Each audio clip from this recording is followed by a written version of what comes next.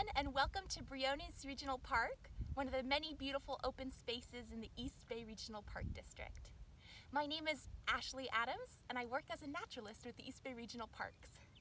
I'm here today at this pond because we just found one of the most amazing animals in the East Bay Regional Parks, the California newt. Take a look, there's one right here climbing back into the pond.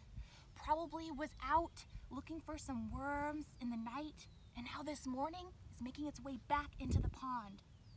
Now these newts may seem small to you, but they pack a powerful punch. This newt has amazing superpowers. That's right, superpowers. Now, you might be able to see that underneath its belly, it has a bright yellow color. Might give you a clue of what one of the superpowers might be. Does anyone know what bright colors in nature mean? Usually it means stay away, I'm toxic, don't eat me. And that's exactly what this little newt is trying to tell us. They have a powerful neurotoxin in their skin and in their body. So powerful, in fact, that it could even kill a human if you ate one.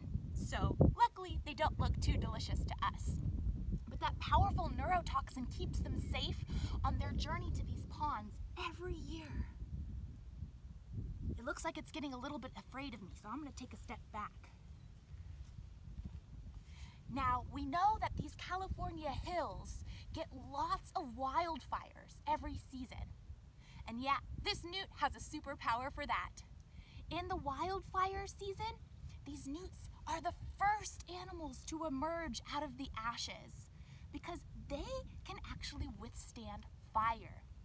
They secrete a substance from their skin that helps them survive California's fire season. And if on their journey to the pond, they face some trauma, maybe losing a limb or part of their tail or even an eye or part of their brain, these newts can regrow their organs. It's amazing. And with living as old as 20 years, these newts have so many special adaptations that help keep them safe in the East Bay Regional Parks pretty cool.